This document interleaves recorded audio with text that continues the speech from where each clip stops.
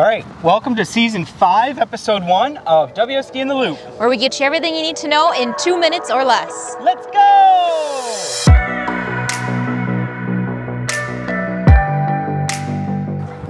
All right, this summer the district refreshed our elementary iPads. Brand new iPads, new cases with built-in keyboards and a Logitech crayon as a stylus. This is great hardware for our students to be able to interact with the device a little differently. If you're interested in what this could look like potentially at the secondary level, talk to Rebecca or I. The district has a new tool called My VR Spot. This is going to let teachers share videos without all the extra comments and ads and video suggestions showing up on the side. You can find this new tool in WSD apps, and our integration specialist will be sharing more about this uh, in the coming months.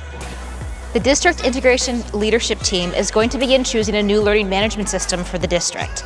Our building tech mentors and administrators are on the committee to help choose this. If you've got thoughts and ideas that need to be addressed, talk to your tech mentor. There are also a few tech mentor positions open in a couple of the buildings. Uh, apply if you're interested in being a part of this committee. All right, this is just a friendly reminder that the district has moved to a single sign-on platform. On a Chromebook, you can find this in the Manage Bookmarks called WSD Apps. On an iPad, you're actually going to see a little icon called WSD Apps, and it's where all the district resources are going to be located for you to use.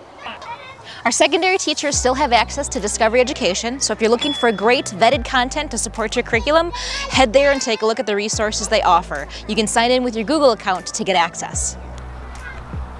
All right, thanks for watching episode one of season five of WSD in the Loop. We'll see you again in a couple weeks.